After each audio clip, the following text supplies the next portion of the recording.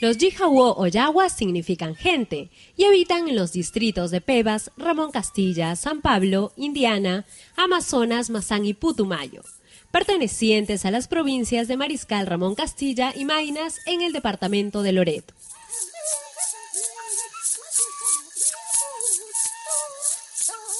El pueblo Yagua se caracteriza por ser básicamente cazador, para lo cual es fundamental el ancestral conocimiento del curare, letal veneno amazónico usado por algunos miembros de las comunidades.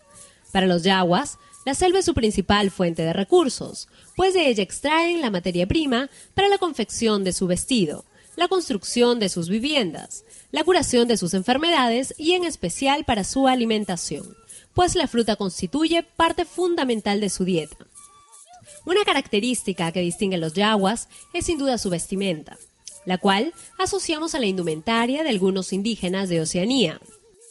En el caso de las mujeres, es común el uso de llamativas faldas rojas, que por lo general son obtenidas en los mercados de los centros poblados más cercanos, mientras que los hombres usan faldas hechas con fibras vegetales, las mismas con las que adornan su cabeza.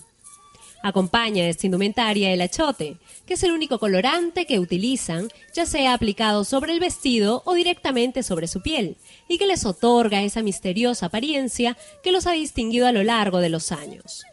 Los yaguas son una de las etnias que cuenta con una riqueza cultural e histórica de gran valor, reflejada en los relatos míticos y costumbres ancestrales que hasta la actualidad practican. Los yaguas son una de las 76 etnias que existen en el Perú. Los yaguas son nuestros pueblos.